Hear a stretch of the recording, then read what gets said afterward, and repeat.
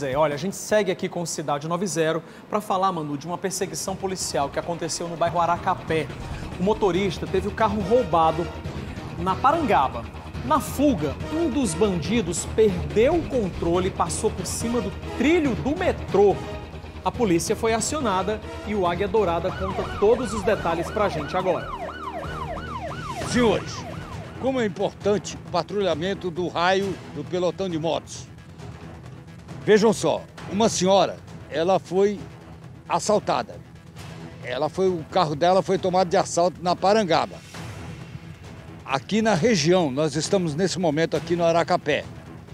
No Aracapé, essa é a rua Ana Brito e, e essa rua aqui é a rua Travessa Poliana. Travessa Poliana. Aí o, a CIOPS avisou, passou a informação, o raio avistou o carro. Aí começou a perseguição. Vejam só os senhores, ó.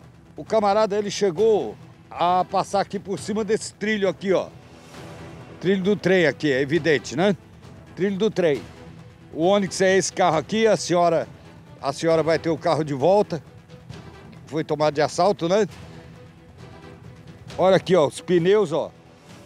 Aqui, ó, estourou os pneus. Não foi tiro do, do da, da polícia, não. Foi dele passar aqui em cima desses trilhos. Aí o que, que ele fez? Olha só, senhores. Ele pulou esse muro aqui, ó. Ele pulou esse muro.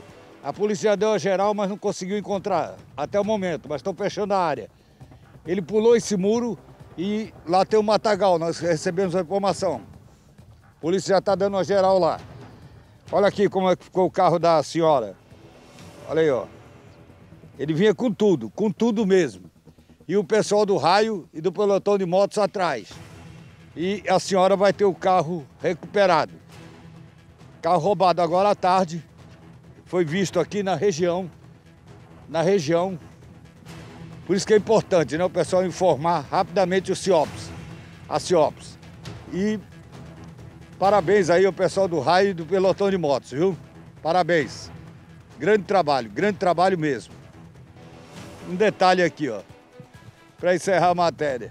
O pessoal tem que ensinar ele que é, trilho é para o trem, não é para o carro não, viu? Trilho é para o trem.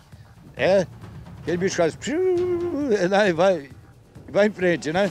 Ele não, ele na hora, com medo do pessoal do raio, jogou o carro ali, deu esse prejuízo aí a essa senhora.